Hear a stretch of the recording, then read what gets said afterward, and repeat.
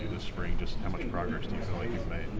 Um, I think I made a lot of progress, but it's credit to Coach White putting me in position to be able to make those plays. And cause, yeah, it's credit to him. With your position in particular, how much pressure is you to kind of carry the load just as the, the point of attack guy? Oh, it's, it's a lot of pressure because Coach Blunt, he like broke it down. Like offense is, is like their goal in the run game is to displace the nose, get me out of my spot. So, and if I get out of my spot, it's nothing like we can do defensively. So I pride myself on being that guy, not getting moved and being a disruption in the middle. What?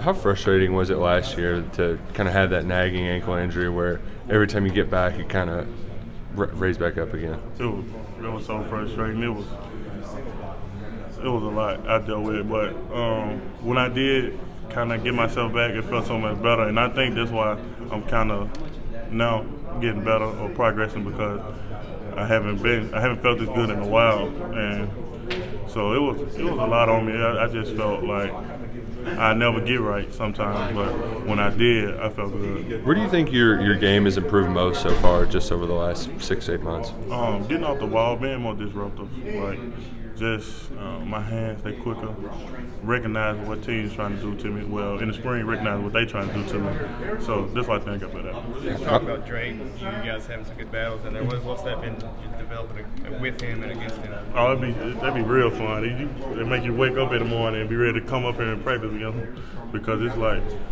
he know what I want. He know what I'm good at, and I know what he good at. So it's like like it's, it's it's fun. We have our battles. It be some battles. He have his day to have mine.